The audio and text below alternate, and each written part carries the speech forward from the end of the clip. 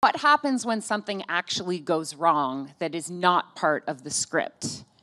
That usually means that the play is going right. Yeah. And that we follow the murder at Haversham Manor.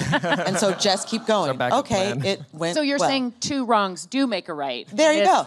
in this situation. Um, r- really, though, like if there's so many people getting hurt, what happens if somebody gets hurt? Like, do you have a safe word?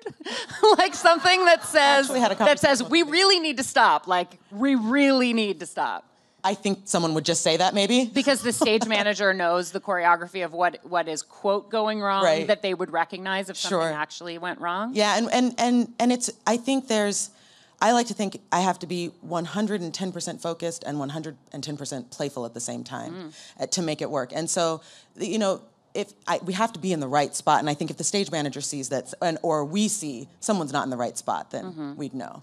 Fortunately, that hasn't happened. It hasn't. That's that's mean, good. Yeah, Nothing- I th- I th- in, in, since it's been running in March, I think there's been one instance where somebody got injured in the show, and the understudy had to come on and replace them mid-show.